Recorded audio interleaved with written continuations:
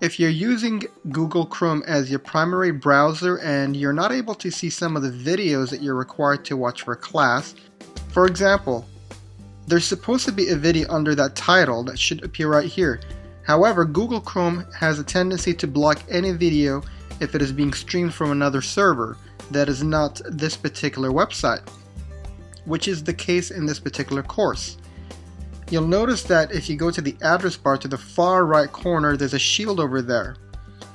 And when you scroll over, it says this page has insecure content.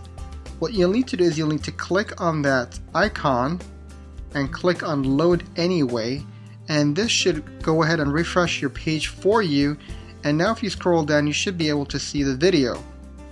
Now if you choose to continue using Chrome you will need to continue to click on that shield every time you log into Moodle Rooms and you're not able to watch a video. That's one of the drawbacks with using Google Chrome for this particular course. However, if you switch over to Firefox and you turn off your pop-up blocker, that should take care of it permanently. If you have any questions about unblocking videos on your browser, feel free to contact me by email.